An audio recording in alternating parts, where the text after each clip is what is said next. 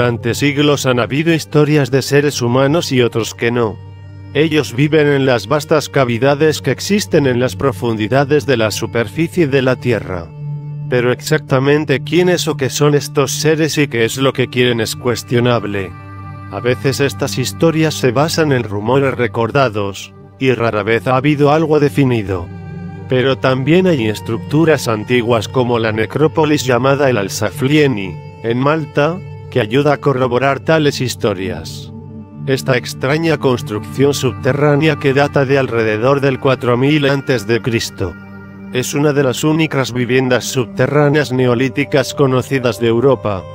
En otros lugares hay varios otros, incluyendo Derinkuyu en Turquía, la ciudad subterránea de Naos, en el norte de Francia. Y por supuesto, la fascinante e inquietantemente hermosa ciudad de Petra en el sur de Jordania. Es realmente extraño, pero al menos sabemos que existen. Sin embargo, Allí hay otras que son más cuestionables, particularmente aquellas que insinúan la existencia de tecnologías perdidas hace mucho tiempo. Una de ellas es la legendaria ciudad de Sinaua, que se dice que está en lo profundo debajo del Valle de la Muerte, una vasta y estéril área que se extiende a ambos lados de California, en la frontera de Nevada en los Estados Unidos. Esta extraña ciudad escondida, cuyo nombre significa la Tierra de Dios, o Ciudad Fantasma, donde hay muchos contenidos anómalos y de artefactos fuera de lugar que no deberían pertenecer a la época que fue supuestamente construida.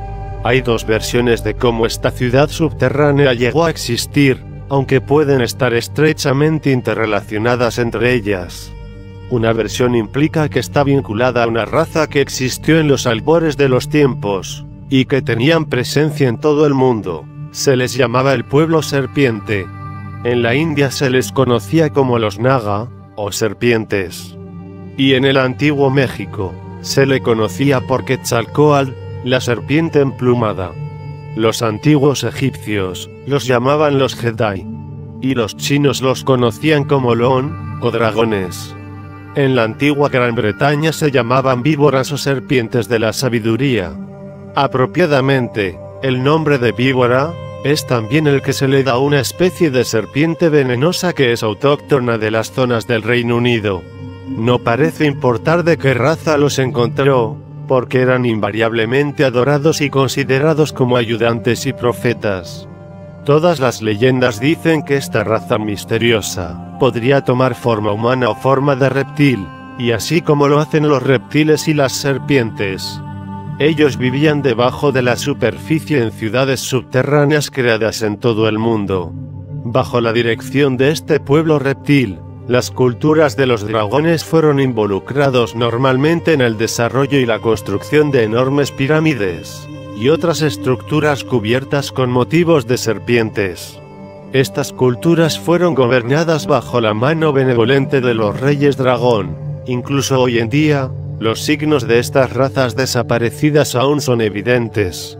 De hecho, estas leyendas asociadas con la tribu Paiute resuenan fuertemente con otras tribus nativas americanas, en particular los pueblos Hopi y Zuni, cuyas leyendas también hablan de la aparición de sus antepasados del oscuro mundo subterráneo. Es probable que en el amanecer de los tiempos estas personas tendrían contacto directo así que es extraño cuán estrechamente sus leyendas se han entremezclado. Durante muchos siglos, las leyendas de la tribu Paiute de América del Norte han dicho que esta ciudad perdida fue también conocida como la ciudad fantasma. Según la leyenda Sinara, se formó cuando se le preguntó a un joven dios, Jinu Abokachis. Se le pidió que llevara una bolsa sellada al otro lado del desierto, y solo abrirla cuando llegara al otro lado, pero como él era joven y sintió un movimiento dentro de la bolsa, el dios sintió curiosidad y la abrió, permitiendo que el contenido en este caso escapara. Hordas de seres humanos escaparon. Estas personas que eventualmente se hicieron conocidas por el nombre del dios Sinawa, vieron algunas montañas en la distancia y corrieron hacia ellas. Uno de los dioses más antiguos vio esto y exigió saber por qué le había hecho esto, y una furia se desarrolló. Según la leyenda, la gente escuchó del acalorado intercambio, no pudieron ver nada. Así que se asustaron y cavaron un túnel y se escondieron en él. Y así es como se creó la ciudad subterránea. Estos eventos pasaron a formar parte de las leyendas peyote, y fueron adoptadas en sus creencias de una vida después de la muerte. Otra parte de esta leyenda, cuenta como muchos siglos después, la esposa del jefe peyote murió en el parto, y en su dolor él quería reunirse con ella. Así que viaja a la tierra de los muertos. Esto implicó pasar por un largo pasaje subterráneo, y en su viaje fue atacado por el temibles criaturas que vivían allí. Finalmente, llegó al final del pasaje, y se encontró de pie al final de un estrecho puente tallado en la roca sólida. El puente cruzaba lo que parecía un abismo sin fondo. Cruzó el puente y finalmente llegó a la tierra de los muertos gobernada por Sinaua. Uno de los habitantes lo reconoció, y una mujer extrañamente hermosa con rasgos de serpiente, que lo llevó a una enorme área abierta. Allí vio a miles de miembros muertos de su tribu bailando, les preguntó si su esposa estaba con ellos. Su guía le dijo que sí, y que una vez que la hubiera encontrado ambos debían abandonar inmediatamente el valle. Y esto es lo que pasó con la esposa de Lot en la Biblia, y no deberían mirar atrás en busca de la razón por la cual ocurría esto. El jefe prometió hacer esto y observó a los bailarines durante varias horas, hasta que vio a su esposa y la llamó. Y ella dejó a los bailarines y corrió hacia él. Y rápidamente huyeron hacia la cresta rocosa saliendo de Sinawa, a la caverna y al mundo de arriba. Sin embargo, olvidó su promesa y se volvió hacia atrás para echar un vistazo a donde había estado, y mientras lo hacía su esposa y la ciudad desaparecieron inmediatamente. Una vez que se recuperó de la conmoción, salió de la caverna, y se reincorporó a su tribu, y pasó el resto de su vida describiendo la paz, la felicidad y la belleza que él había encontrado en esas tierras. Leyendas de la tierra subterránea como esta, fueron olvidadas hasta que en 1947 resurgieron, cuando un artículo apareció en la tribuna sindical de San Diego. El artículo mencionó que varios años antes, los restos de una antigua civilización se habían encontrado en el desierto. Estos restos incluían una ciudad subterránea, y que contenía gigantescos esqueletos y momias vestidas de ropa de cuero. Y los muros de la ciudad estaban cubiertas de extrañas tallas e imágenes.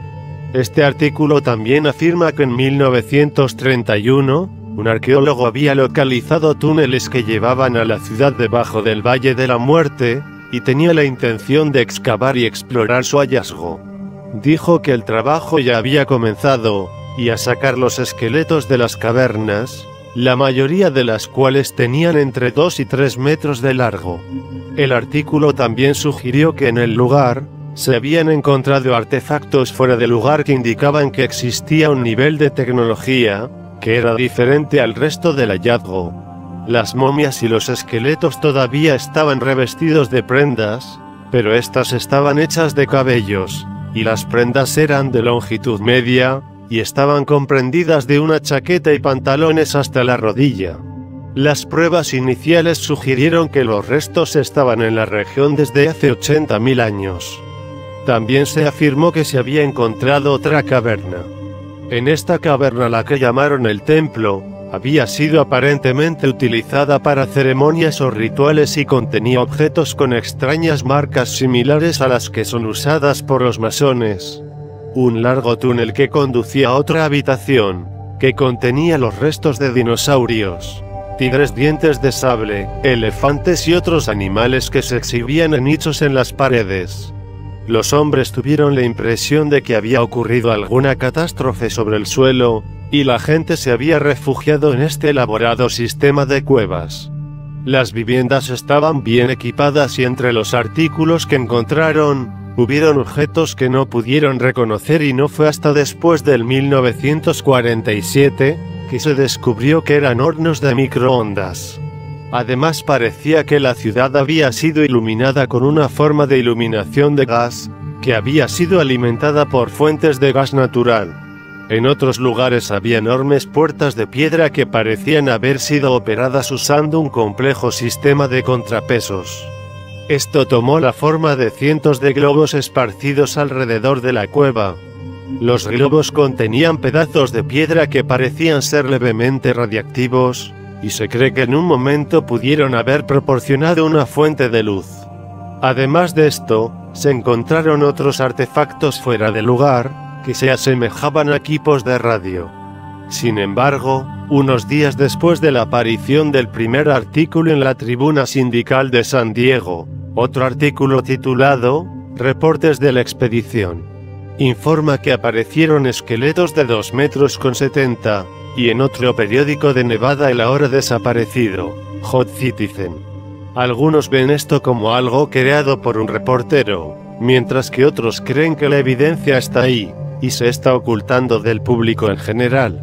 Un relato de principios del siglo XX, a principios de la década del 1900, alega que dos hombres viajaban por el Valle de la Muerte, y uno de ellos supuestamente cayó en el pozo de una vieja mina, en un lugar llamado Wingate Pass. Afortunadamente no resultó gravemente herido, y podía ver formas extrañas cerca, y llamó a su compañero que bajó a unirse a él. Y se encontraron en una caverna, que decían debía tener unos 30 kilómetros, en el corazón de las montañas de Panamint. Afirman haberse encontrado otra caverna que contiene una enorme y antigua ciudad subterránea. Continuaron explorando y descubrieron que habían escalado una cierta distancia en las montañas. Y aunque todavía bajo tierra, podían ver algunas aberturas a cierta distancia más arriba. El suelo que conducía al exterior. Miraron, y se dieron cuenta de que el valle de abajo había estado una vez bajo el agua, y que las aberturas parecían haber sido diseñadas para permitir que los barcos atracaran a un lado.